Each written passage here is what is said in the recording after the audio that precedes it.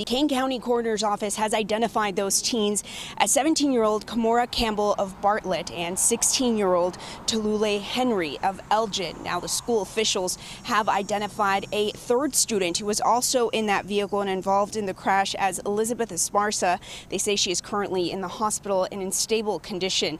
They are not releasing the identity of the fourth student who was in that vehicle and involved in that crash who received non-life-threatening injuries. And like you guys mentioned, all four Four of them were students here at South Elgin High School.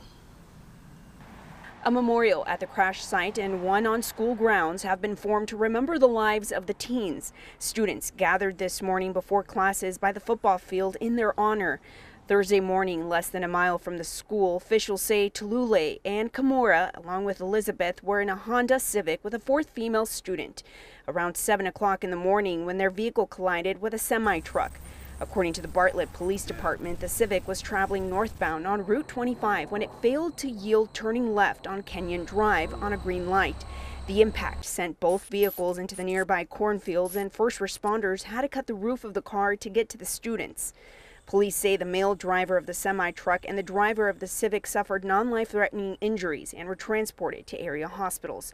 One teen died at the scene and another at an area hospital. In a statement, the school says our hearts go out to their families and loved ones during this incredibly difficult time. We are here to provide support and assistance to the affected families in any way we can. A crisis team with grief and loss counselors has been activated on campus, and they say they will be here as long as they're needed.